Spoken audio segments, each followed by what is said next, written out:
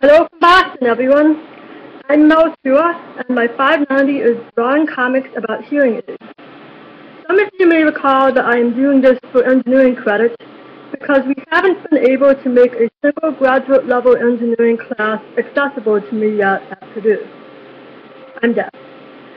In any case, my goal was to bridge the gap between the highly technical literature of the field, which assumes you have graduate level electrical engineering knowledge as well as medical training in audiology, and the publicly available materials from hearing aid manufacturers, which usually put pictures of happy senior citizens and puppies with words like, you will hear more clearly, and no explanation as to how that works exactly from a more technical point of view.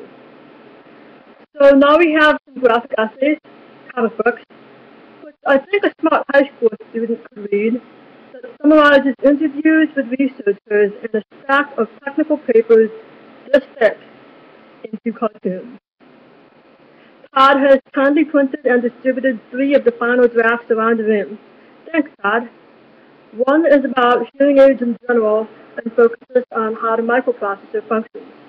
One is about the wireless technologies that hearing aids use to hook up with various devices. And one is about frequency lowering, a fairly new technique that moves high sounds that some people can't hear into lower regions where they can hear them. You can also download them at bit.ly slash hearing aid comics 1, bit.ly slash hearing aid comics 2, and bit.ly slash hearing aid comics 3. The rest of this presentation slot is open for you to read and talk and comment, and I'd love to hear your feedback. Some of you have laptops, so if you could type notes from the discussion around you and email them to me, that would be wonderful. My email is mel at purdue.edu. Thank you.